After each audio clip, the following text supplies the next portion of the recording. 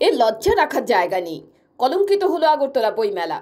শুক্রবার সন্ধ্যায় উদ্বোধন হলো আগরতলা বইমেলার।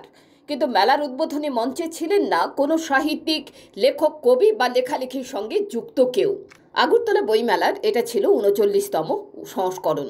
উনিশশো একাশি সালে শুরু হওয়া আগরতলা বইমেলার এখন তার ভরা যৌবন। কিন্তু বইমেলা ঘিরে এমন কাণ্ড হয়তো এর আগে আর কোনোদিন হয়নি। বইমেলার উদ্বোধনী মঞ্চে ডাক পেলেন না কোনো সাহিত্যিক।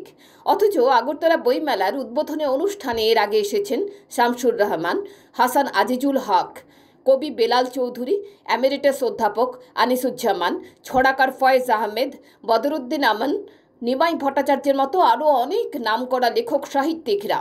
আগরতলা বইমেলায় এসেছেন সুনীল গঙ্গোপাধ্যায়, নবনীতা দেব সেন শঙ্করের মতো লোকেরা। আর সেই আগরতলা উনচল্লিশতম বইমেলার মঞ্চে সেরকম কেউ নেই। ডাকা হয়নি রাজ্যেরও কোনো লেখক সাহিত্যিককে। আগরতলা বইমেলার সঙ্গে অন্য চারটি অনুষ্ঠানের যেন কোনো প্রভেদই নেই। মঞ্চে শুধু মন্ত্রী বিধায়কদের ঠেলাঠেলি উদ্বোধন করলেন মুখ্যমন্ত্রী বিপ্লব কুমার দেব। মঞ্চে জিষ্ণু দেববর্মা মন্ত্রী এনসি দেববর্মা রতনলাল নাথ, বিধানসভার উপাধ্যক্ষ বিশ্ববন্ধু সেন, বিধায়ক রামপ্রসাদ পাল, মিমি মজুমদার আর ছিলেন তথ্য দফতরের দুই আমলা। বইমেলার মঞ্চকে মুখ্যমন্ত্রী এবং অন্যরা ব্যবহার করলেন সরকারের প্রচার করতে। বইমেলা মঞ্চ থেকে শোনানো হলো আগে সরকারের সমালোচনা, নিয়ম মাফিক। কিন্তু আগরতলার মনন মানসিকতা, বিদ্যা বুদ্ধির সঙ্গে যারা সম্পৃক্ত, তারা বইমেলার এমন ছিরি দেখে শুধুই কষ্ট পেয়েছেন। অথচ মঞ্চ সাজানো, রং বেরঙের আলো, চোখ ধাঁধানো সব ব্যবস্থাই করা হয়েছে সরকারি উদ্যোগে।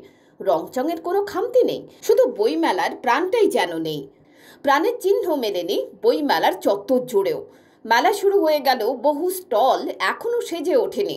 প্রায় খালি ছিল প্রথম দিনের মেলা প্রাঙ্গণ। পিওর রিপোর্ট, চ্যানেল দিন রাত